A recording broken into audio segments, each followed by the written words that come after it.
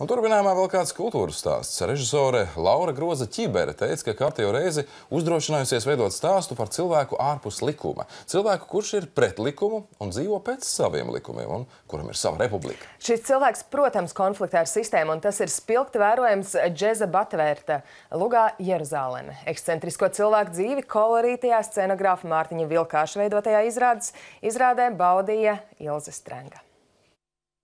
Tu man pazīsti veseli, ja? Ko tu iedomājies? Šitie te vilčīrs policija, tie pirksts taisītie jampampie, ja?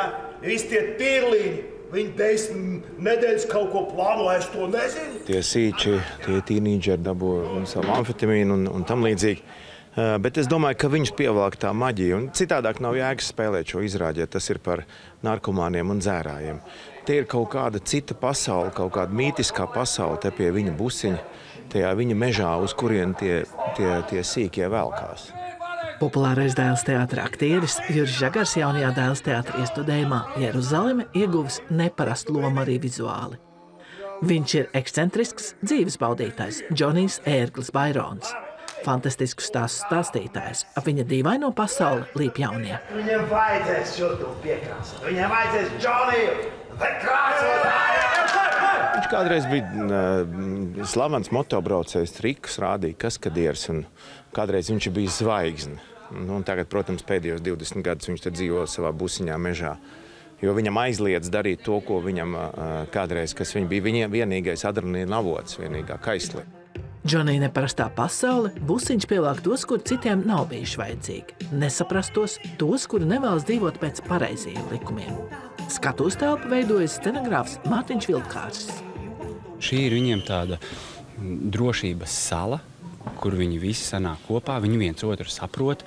Galvenais, kas viņus saprot, ir Džonijs, kurš, kurš arī ar viņiem apietās kā ar cilvēkiem, kurš ar viņiem runā kā ar pieaugušajiem, kurš viņiem stāsta brīnišķīgus stāstus, viņi tiem stāstiem tic, tāpēc ka nekur nekas cits tāds viņiem nenotiek.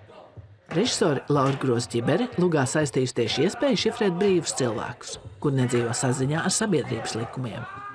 Viņš ir tāds ideālists, kurš tic, ka viņš būs spēcīgāks par sistēmu, bet kā mēs zinām, tā nekad nenotiek. Diemžēl sistēma vienmēr izrādās spēcīgāka par individu. Un, un tas arī pierādās. Bet tas, kas man viņā simpatizē, tā kā visos manos varoņos, ir tas, ka viņš ir uh, tāds klājš ideālists un viņš ir labāk iests nāvē nekā nodos savus ideālus.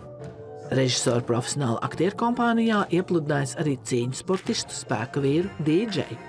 Pati kopā ar Mikls Master Raitis izvēlējusies mūziku. Šeit ir tāda balīta, kura balīta gan notiek mūsdienās, bet bez, bez labi dīdžeja, kas rūpējās par uh, visas uh, balīšu sabiedrības labsajūtu. Dēls teātris iestudējuma Jeruzaleme kostīma mākslinieca ir Kristīna Pasternaka. Pirmizrāde 26. janvārī. Ilza Strenga, Nonmuts Palovskis, Latvijas televīzija.